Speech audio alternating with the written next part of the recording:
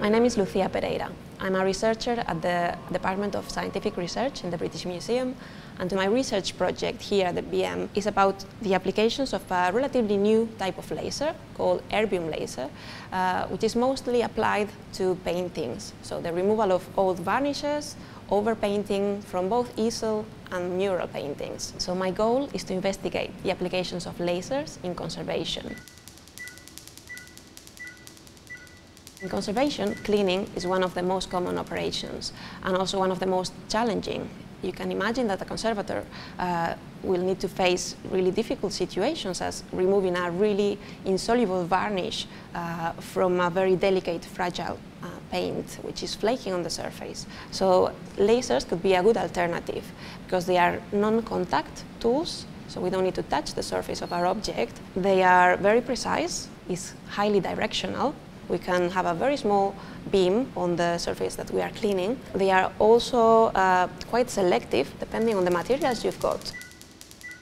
My name's Elizabeth O'Connell and I'm a curator in the Department of Ancient Egypt and Sudan. The painting currently undergoing conservation and scientific research belongs to about the 6th century. The wall painting shows three vignettes from proto-martyrs of the distant biblical past to international and regional martyrs of the more recent past. The wall painting was discovered in a villa, the Daniel Villa as the excavator termed it, in 1914. From the research project, we already knew just how heavily the wall painting was restored. This is an image of the painting in mid-conservation after it arrived at the museum, and you can see it arrived in pieces, and the one-to-one -one scale drawing was used to restore it before it went on display in the galleries at some point before 1921. Conservators have carefully investigated the different layers of restoration and their reversibility. My name is Tracy Sweek. I'm a member of the Stone Wall Paintings and Mosaics section here at the Department of Conservation. So our first thing was to see how much of the original painting exists and, and a lot of this surrounding area and some of this central sections are heavily painted with the restoration paint in the 1950s. Um, so that gave us a lot of opportunities to try tests and testing areas on the surrounding area without infringing on the original wall painting itself. We did some trials and tried a combination of water alone, acetone, and we also used IMS. They worked in removing the surface dirt, but they didn't actually do anything to the alkyd paint at all. I'm Stephanie Vasiliou. I'm a conservator here in the Stone Wall Paintings and Mosaics Conservation Department. After we did the initial poulticing tests, we decided to work alongside science testing the erbium YAG laser. Uh, the laser itself is used quite a lot in the past on paintings, uh, easel paintings and also mural paintings. Uh, so we thought it might be a good, a good machine to, to try on the painting. We did dry testing, so we just did a pass with the laser um, at increasing energies to see sort of what effect we could get. We then also decided to try and test it alongside solvents. Um, we tried various solvents and we actually found that the most effective treatment was doing pass with the laser and then a swab with isopropanol. What we do before treating a real object, of course, I need to make sure that the treatment is first efficient and second safe for the materials.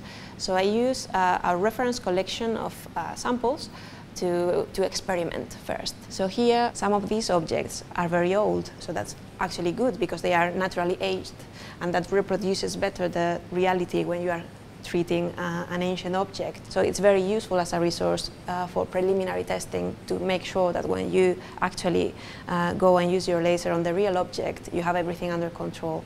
Now I'm going to show you um, the typical setup that I use uh, for the laser tests on the samples. So one possible goal is to investigate whether the laser is efficient to remove a particular material. I generally place my sample here on a platform that I can lift um, I monitor everything with a digital microscope so I can follow what's going on on the surface uh, here on the screen. So now we can, we can get started.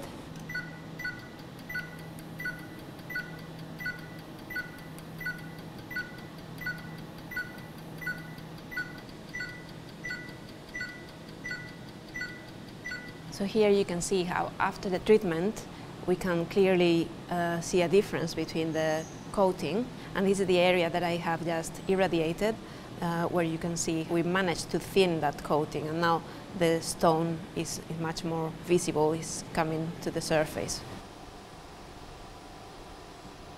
At the moment, we are at one of the science labs where we have the SEM EDX. Um, it's a special type of microscope that gives us uh, huge resolution so we can investigate the surface of the objects and we can also do chemical analysis. So what I generally do is before irradiating the objects with a laser, I tend to investigate whether the original materials on the surface uh, might be sensitive to the radiation. So I'm going to, to place my samples inside the chamber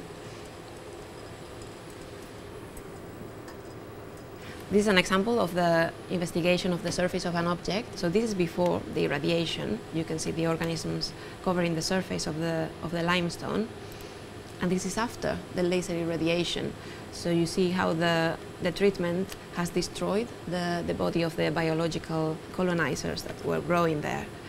Uh, and this is the surface of the limestone after swabbing. So after irradiating with the laser and applying a cotton swab with a mild solvent just to, to remove the residues. So what I have here is a sample from the coating that is covering the wall painting we've seen before. Um, we want to identify what's the material um, to see if the laser will be able to remove it. Um, so I've taken a small sample. So now I've got my tiny sample in the center of this diamond cell and I'm going to place it under the objective of the microscope.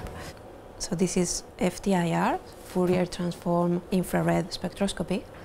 Um, and what we are investigating is how the molecules vibrate that we can identify in the, in the spectra and then determine what's the material that we have in our sample.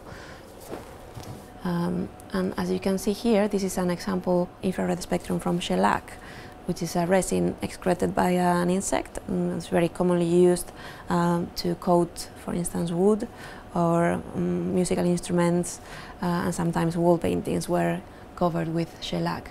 And you can see how it fits. So now we know what's the coating that is covering our uh, object, our wall painting, and we know that it's uh, possible to treat it with erbium laser. It will absorb radiation at that wavelength. Now, the treatment that we're going to be carrying out, now that we have determined our parameters, is that we are going to reduce the overpaint around the outside, um, effectively remove it from any of the surrounding areas.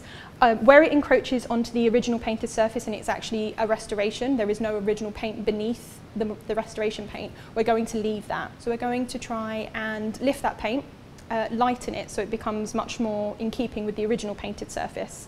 Um, and so it's, it's sort of working between the two extremes of complete removal where it's just on um, modern plaster and then lifting the paint where it actually is a restoration so that ultimately we can then carry out further conservation to bring the whole painting back together in a much more sympathetic way. So we are wearing goggles uh, just because when you're working with a laser it's always good health and safety practice to wear goggles. Um, we also have extraction here. This is to um, protect us from inhalation of any of the fumes coming off of the solvents that we're going to be using.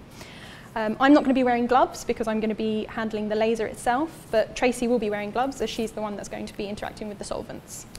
So we just hit ready twice, and once we hear that sound, the laser's ready to be used.